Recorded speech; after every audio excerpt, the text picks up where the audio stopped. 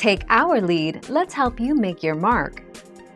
Our goal is your satisfaction. Let us show you the way.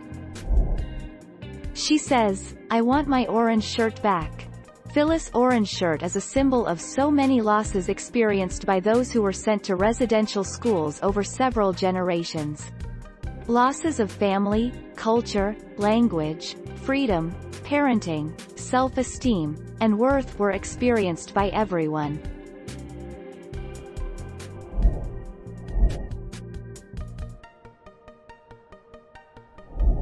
Let's help you make your mark.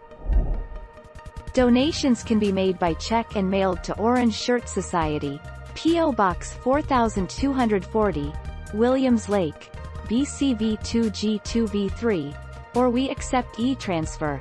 Donations at orangeshirtday.org. CMC, thanks to all, for your support.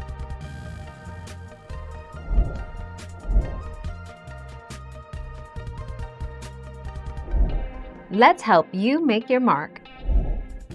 There are currently 80,000 residential school survivors alive in Canada.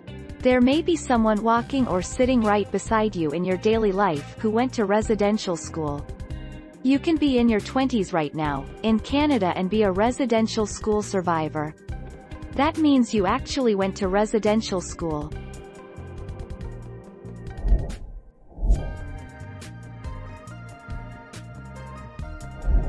Make your mark, take our lead.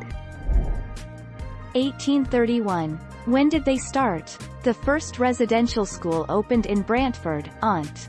In 1831, before Confederation, although there were a handful of schools run by missionary groups even earlier than that.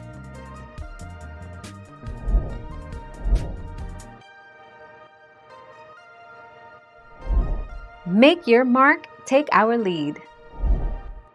The Orange Shirt Society is a non-profit organization with its home in Williams Lake, BC where Orange Shirt Day began in 2013. To create awareness of the individual, family and community intergenerational impacts of Indian residential schools through Orange Shirt Society activities. Thank you for watching. Please subscribe and hit the bell notification.